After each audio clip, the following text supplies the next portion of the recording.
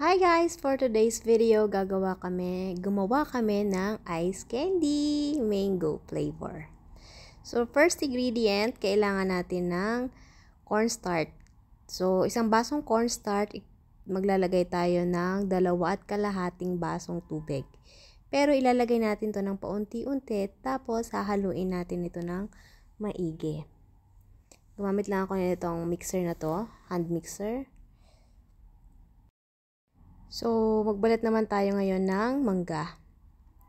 So, ayun, himay-himay lang natin ito. Gumamit ako ng tinidor para mapino. So, kailangan natin madurog ng maigi yung ating mangga.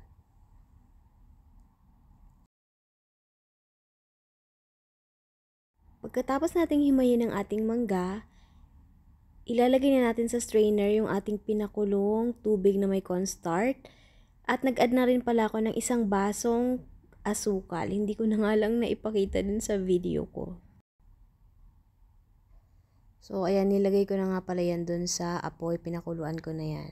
Hindi ko na nga lang napakita sa aking video. Kapag kumulo na siya, ilalagay lang natin sa apoy. Tapos pag kumulo na, automatic patayin na natin ang apoy at palamigin na natin ito. At kapag lumamig na, i-strainer na natin siya, sasalain natin siya para matanggal yung mga nabuong cornstarch. And then, ito naman, maglalagay na ako ng mango flavor. Yung powder to, guys. Meron din naman itong liquid. Liquid flavor na mango. So, ayan. Depende na sa lasa na gusto nyo. Estimate nyo na lang kung gaano kadaming powder, mango ang ilalagay ninyo. Haluin lang ito ng mabuti. Then, isunod na natin ng ating fresh mango. So, ayun, mas dinurog ko pa siya kasi mas maganda talaga pag durog-durog yung mango. Mas mahahalo siya doon sa ating liquid mixture.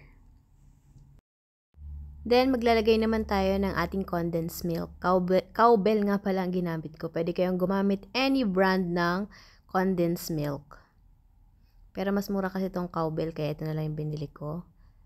And then, meron din tayong ibap, isang malaking ibap. Iubos din natin to dito sa ating mixture. Try nyo to guys sa bahay kasi sobrang lambot nung ice candy na gawa namin ito. Tapos para talaga siyang ice cream. Perfect ito na pang negosyo. Bali 33 pieces nga pala yung nagawa ko nitong uh, ice candy that time. And then pagkalagay natin ng gatas, ilagay naman natin yung ating i-add na natin ito ang ating mangga.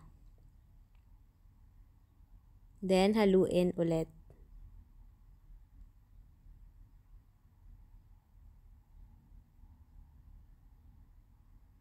Then, pagkahalo natin ito ng maigi, pwede na tayo magsimulang magbalot ng ating ice candy. Ayan, oh, sobrang lapot niyan guys.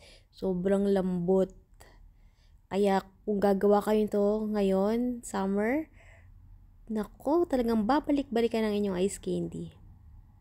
Pero ito, pansarili lang talaga namin. Naubos yan. Halos maghapon, naubos agad yan. So, yun na nga, binalata namin ng anak ko. Nagtumulong na siya. Siya na ang nagtatabot. Ako na nagtatali. So, yun lamang guys. Sana nagustuhan nyo. Try nyo to sa bahay. Hindi ko na na-video yung sample nung buo na siya. Gawa ng talaga namang pinagpiesta ng mga bata. Nung titignan ko na sa rep, aba, ubus na kaagad.